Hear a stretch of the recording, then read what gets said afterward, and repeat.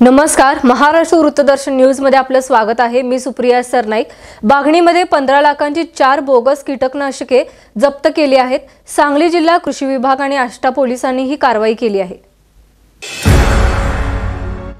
सांगली जिल्ह्यातील बागणी येथे बावची रस्त्यावर जिल्हा गुणनियंत्रक निरीक्षक आणि आष्टा पोलिसांच्या पथकाने छापा टाकून सुमारे पंधरा लाख रुपये किमतीची बोगस कीटकनाशके बुरशीनाशके जप्त केली आहेत.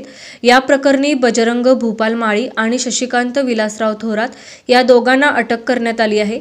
बेकायदा कीटकनाशकांचा शासकीय विक्री परवाना नसताना हा साठा केल्याचे निष्पन्न झाले असून ताब्यात घेतलेल्या नमुने तपासणीसाठी पुणे येथील प्रयोगशाळेत पाठवण्यात आले आहेत.